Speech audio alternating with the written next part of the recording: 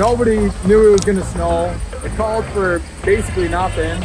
And here we are with a, a decent dump of snow that we gotta go and take care of for our customers. So we're running, we're chasing it.